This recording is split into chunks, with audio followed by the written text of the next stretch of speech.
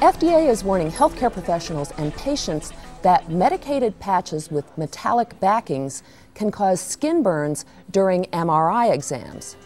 These patches include both prescription and OTC products, including nicotine patches. The metallic backings aren't ferromagnetic, so they're not attracted to the MRI machine's magnetic field. But the metal does conduct heat, and that's what can cause burns in the immediate area of the patch.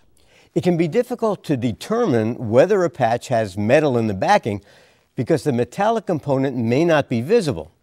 Also, at this point, the labeling for some of these patches doesn't contain a warning about the possibility of burns if worn during an MRI.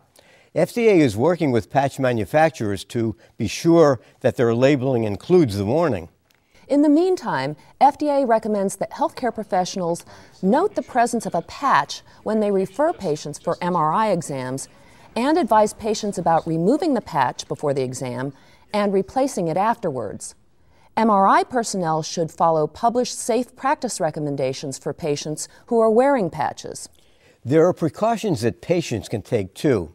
They should tell the doctor who's referring them for an MRI exam that they're wearing a patch and ask for instructions about how to remove and dispose of the patch before the exam and how to replace it afterwards. It's also important that patients tell the MRI staff about the patch both when they make the MRI appointment and when they arrive at the facility. To get more information about specific patches, go to our website,